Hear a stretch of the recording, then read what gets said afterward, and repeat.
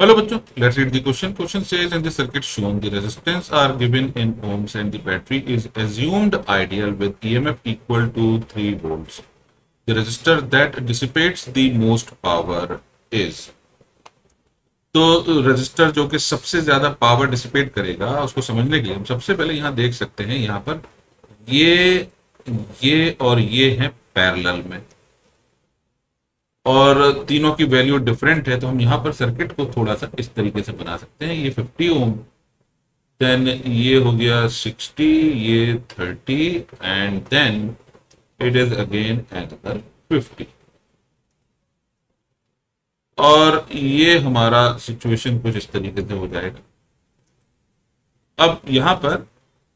ये resistance R1 है, और ये रेजिस्टेंस R2 है 50 ओम ये रेजिस्टेंस आर थ्री है सिक्सटी ओम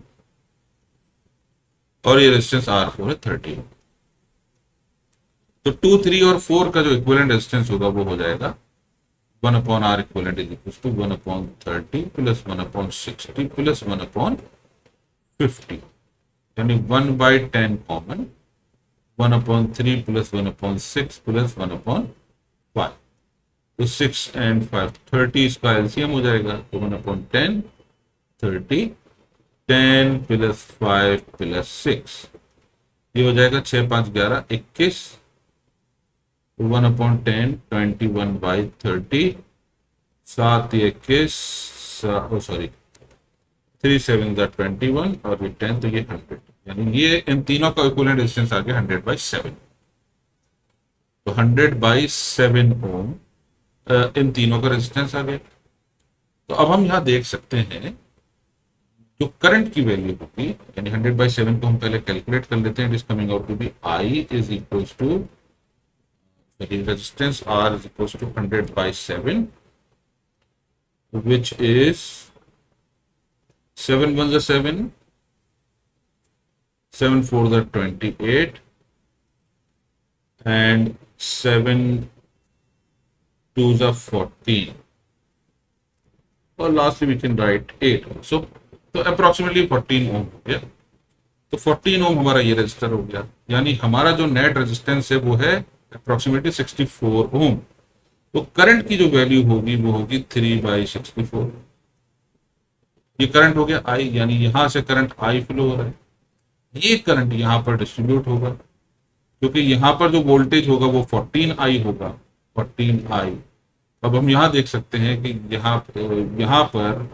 करंट की जो वैल्यू होगी I is equal to V upon R that is fourteen by thirty I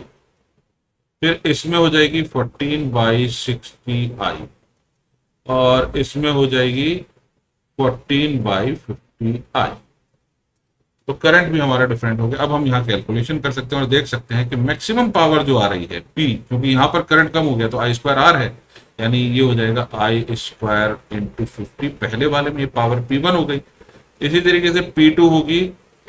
14 by thirty यानी 7 by fifteen seven by fifteen I whole square into resistance thirty which is equal to 49 by 2 25 यानी 15 into 15 i square into 30 15 one the 50 एंड 15 to the 30 तो ये आ जाएगा 2 into 49 by 15 I square clearly it is less than P one फिर आते हैं P three पर। P three is equal to कितना हो जाएगा? 14 बाई 60 यानी ये हो जाएगा seven by 30 I whole square into resistor हमारा 60 ओम हो जाएगा which is again equal to 49 I square by 30 into thirty into sixty ये हो जाएगा टू और फिर से ये 15 ये हो जाएगा 49 by 15 i square. Again, it is less than p1. Last में बचा p4 तो हम देख सकते हैं p4 four is equals to हो जाएगा 14 बाई फिफ्टी आई यानी 7 by twenty five whole square into I square into resistor 50 ये हो जाएगा 49 upon 25 five into two I square तो ये भी again less than P one तो सबसे ज़्यादा पावर जो डिसिपेट होगी वो रेजिस्टेंस आर वन में होगी आंसर हो जाएगा A I hope you understood the solution thank you